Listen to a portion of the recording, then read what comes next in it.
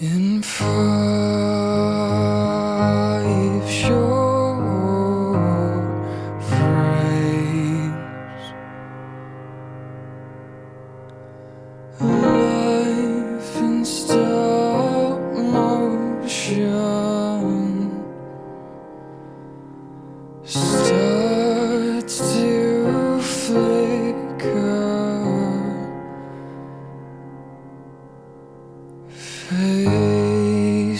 people, places, things all change.